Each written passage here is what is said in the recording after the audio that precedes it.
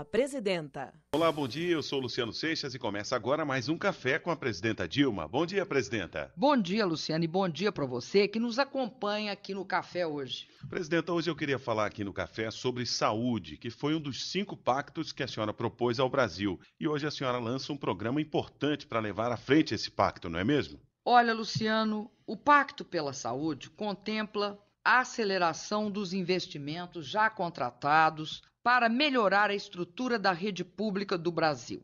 Estamos investindo 7 bilhões e 400 milhões na construção, reforma e compra de equipamentos para postos de saúde, unidades de pronto atendimento, as UPAs e os hospitais. E no ano que vem, nós vamos investir mais 5 bilhões e 500 milhões em novas unidades. Para que tudo isso funcione bem, Luciano, e para que possamos dar um tratamento digno e eficiente à população, vamos precisar de mais médicos para trabalhar, principalmente nas periferias das grandes cidades, no interior do país e, sobretudo, nas regiões norte e nordeste, onde mais faltam médicos. Por isso, nós estamos lançando hoje o programa Mais Médicos. Como é que esse programa vai aumentar o número de médicos atendendo a população, presidenta? Olha, Luciano, nós já temos hoje um grande número de médicos fazendo atendimento da população na rede pública de saúde, o nosso SUS. Nós sabemos que os nossos médicos estão comprometidos com a qualidade do serviço público mas infelizmente eles ainda são em número insuficiente para garantir atendimento em toda a rede pública de saúde. Essa falta de médicos é um problema muito sério, que irá ficar mais grave na medida em que aumentamos os investimentos na construção de novas unidades de saúde. Nós já falamos aqui no café que o Brasil tem menos médico por habitante, por exemplo, do que Argentina, Uruguai, Portugal e Espanha. E esse problema se torna ainda mais grave nas regiões mais pobres e mais distantes do país. Por isso, Luciano, tomamos uma série de providências.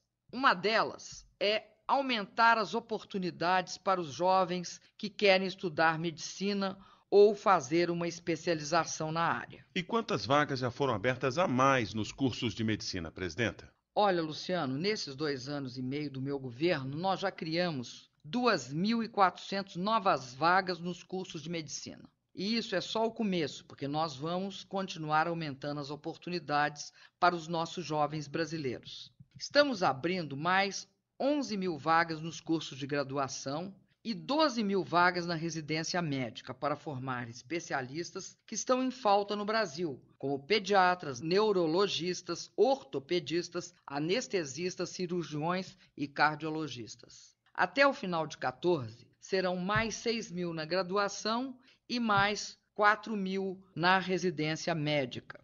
A residência, é bom lembrar, Luciano, ela estimula a permanência do médico recém-formado na região onde faz a sua especialização e começa a sua vida profissional. E para contribuir com a formação de novos médicos, serão construídos 14 novos hospitais, com um investimento de 2 bilhões de reais até 2017, fora todos os hospitais privados que porventura também sejam construídos. Mas formar um médico leva tempo, não é, presidente? E quem precisa de atendimento de saúde não pode esperar. Ah, você tem toda a razão, Luciano. A verdade é que são necessários seis anos para se formar um médico na faculdade e mais outros dois ou três anos às vezes até cinco anos, de residência médica para ele se tornar um especialista. Só aí, Luciano, são mais de 10 anos para formar um médico especialista. É exatamente por isso que estamos tomando algumas medidas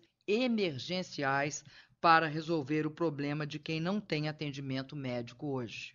Uma grande mobilização de médicos, Luciano, começa hoje com o lançamento do programa Mais Médicos. Como o programa Mais Médicos vai funcionar, presidenta? Olha, Luciano, o programa Mais Médicos tem duas iniciativas importantíssimas. Primeiro, vamos lançar um edital nacional para selecionar os municípios que querem receber novos médicos. A prioridade, como eu já disse, são as periferias das grandes cidades e aqueles municípios do interior e também os municípios mais distantes. principalmente os municípios localizados no norte e no nordeste do país, onde há mais falta de médicos. Agora, para a prefeitura participar do programa, ela precisa ter postos de saúde com bons equipamentos e equipes de saúde para trabalhar junto com os médicos. Por isso, o município que participar do Mais Médicos vai ter que assumir o compromisso de acelerar os investimentos na construção, na reforma, na ampliação das suas unidades básicas de saúde. Porque são nas UBS, enfim, nos postos de saúde, que os médicos vão trabalhar.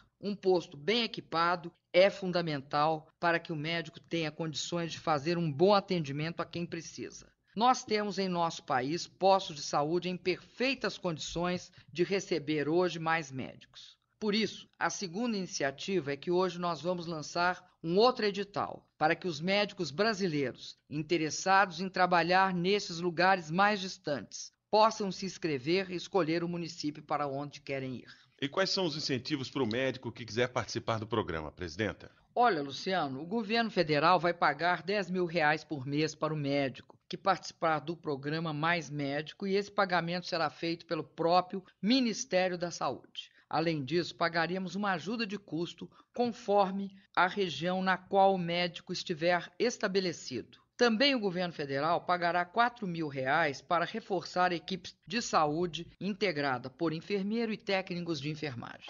O médico, Luciano, vai trabalhar 40 horas por semana no posto de saúde e ainda poderá fazer uma especialização em atenção básica. Agora, Luciano, nosso objetivo é que todas essas vagas para médicos sejam preenchidas e a população possa ter atendimento garantido o mais rápido possível. Por isso, se as vagas disponíveis não forem todas preenchidas por médicos brasileiros, nós vamos autorizar a vinda de médicos estrangeiros. Explica para a gente como vai ser isso, presidente.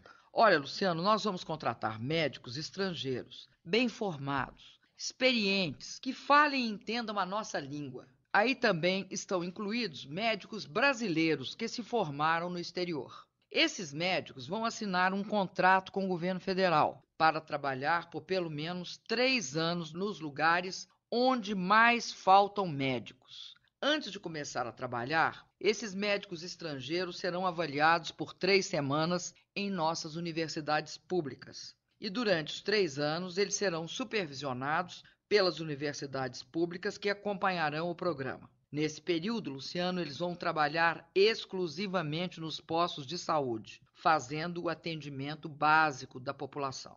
Quero repetir que os médicos estrangeiros só vão ocupar as vagas que não forem preenchidas por médicos brasileiros. Daremos prioridade aos nossos médicos, aos médicos formados aqui no Brasil, que são altamente qualificados, mas infelizmente não existem em número suficiente para atender a toda a nossa população. Isso significa, Luciano, que ninguém vai tirar o emprego de ninguém. Aliás, a contratação de médicos estrangeiros é muito comum em vários países que têm excelentes sistemas de saúde, como é o caso da Inglaterra, onde 37% dos médicos que trabalham lá se formaram no exterior. Nos Estados Unidos, por exemplo, onde 25% dos médicos que trabalham lá também fizeram seus cursos fora daquele país. Veja o contraste, Luciano. Nós aqui no Brasil temos apenas 1,79% de médicos estrangeiros. E pode vir médico de qualquer país, presidenta? Olha, Luciano, nós não vamos aceitar profissionais de países onde também haja falta de médicos, ou onde a proporção de médicos por habitantes seja ainda menor do que no Brasil.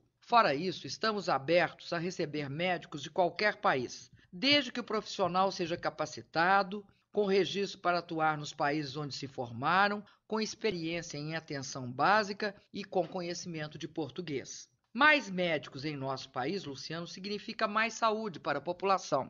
Esse é o nosso grande objetivo e é para isso que estamos trabalhando com muita determinação. Maravilha, presidenta. Agora, infelizmente, o nosso tempo chegou ao fim. Obrigado por mais esse café. Antes de terminar, Luciano, eu quero dizer que essa convocação de médicos para trabalhar nas regiões mais pobres de nosso país é a resposta que estamos dando para o problema da falta destes profissionais nas nossas unidades de saúde. Quem precisa de atendimento médico não pode esperar, e é por isso que estamos autorizando a vinda de médicos estrangeiros. Trata-se de uma medida emergencial para resolver um problema sério e urgente. Ninguém precisa temer. Eu jamais tiraria emprego de nossos profissionais ou arriscaria a saúde da população. O que nós queremos, Luciano, é melhorar os serviços públicos que oferecemos à população brasileira. Para isso, nosso governo não vai medir esforços.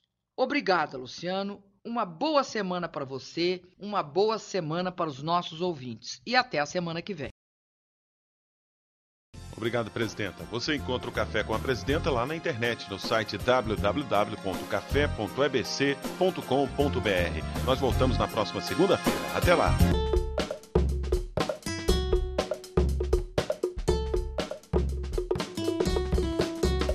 Café com a Presidenta.